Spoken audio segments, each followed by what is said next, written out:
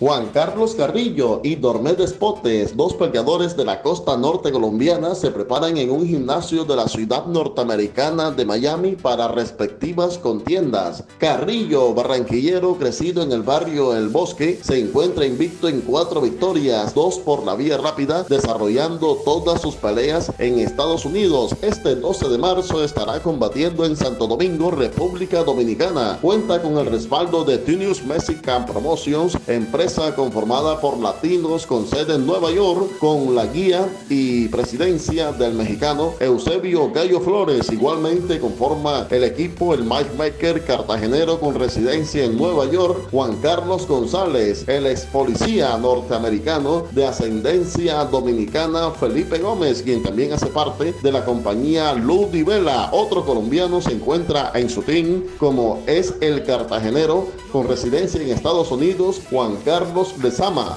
Dormé Despotes, nacido en el departamento del Magdalena, crecido entre Barranquilla y Bogotá, realizará su debut en Estados Unidos. De la misma manera desarrolló un sparring con un duro rival ruso y olímpico Dormé Despotes, también con miras a triunfar en el país del norte. Estados Unidos, www.portal-box.com. Seguiremos informando.